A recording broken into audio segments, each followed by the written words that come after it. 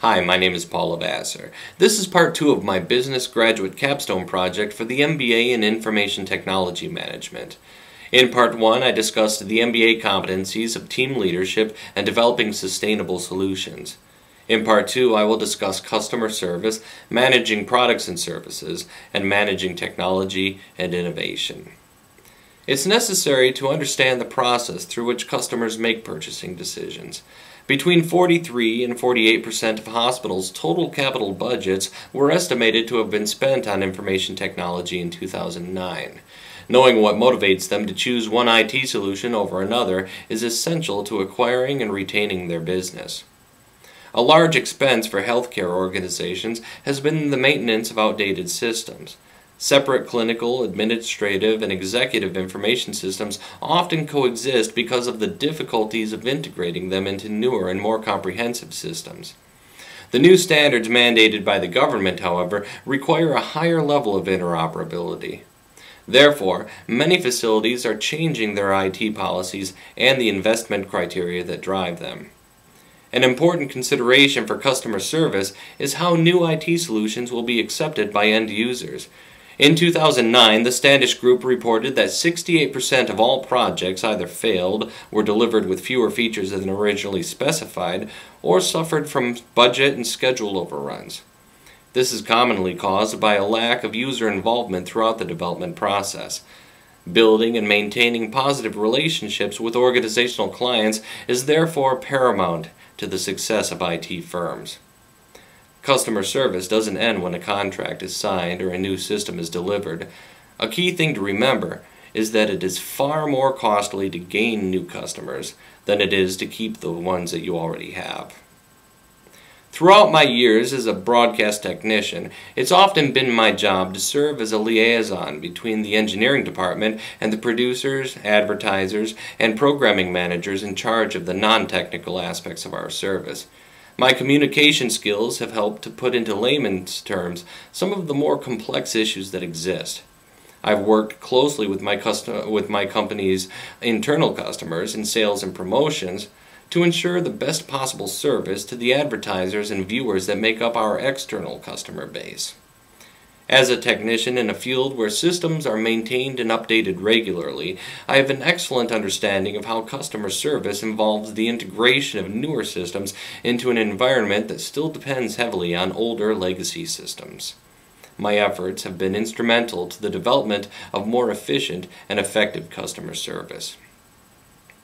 In the healthcare IT industry, the management of products and services is more complex than it is in other industries. Information systems are as varied as the organizations that use them. The constantly evolving regulatory and business environment has created an industry in which IT solutions must be tailored to fit the specific requirements of each organizational client.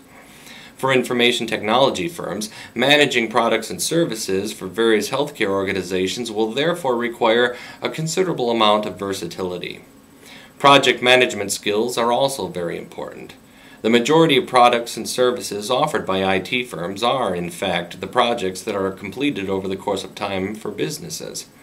So it's necessary to know and understand all phases of an IT project's life cycle, its initial conceptualization, the development of the project charter and plan, the implementation and delivery of the system, and also the final project review.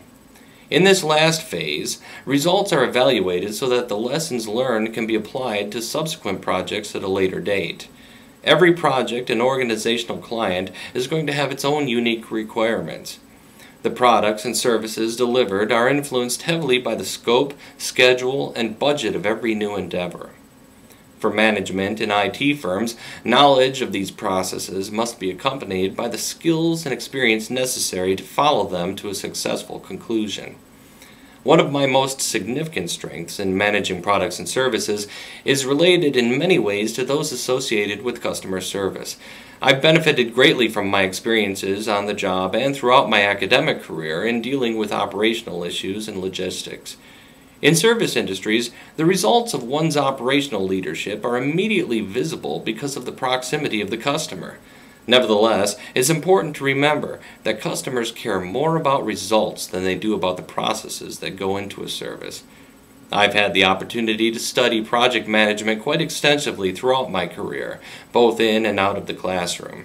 I've participated in projects where tight deadlines contributed to the adoption of crunch schedules. I've also participated in projects that allowed more time for perfecting the processes as well.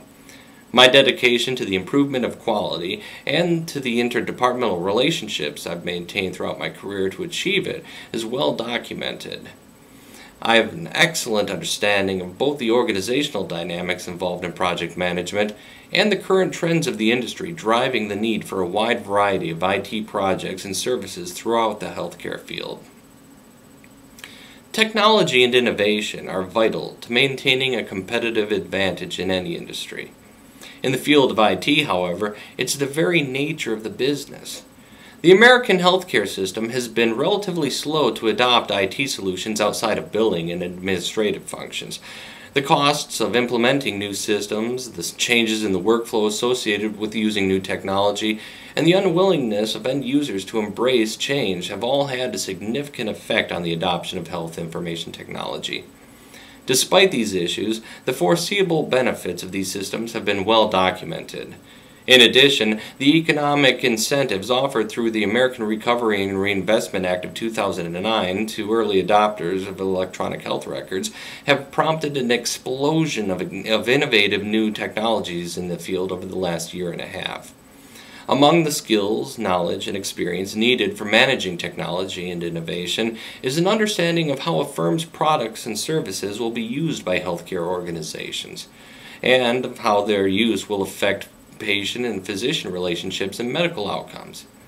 Most systems in use today were not built by medical practitioners. This is perhaps one of the reasons why the industry has been reluctant to adopt electronic health records thus far.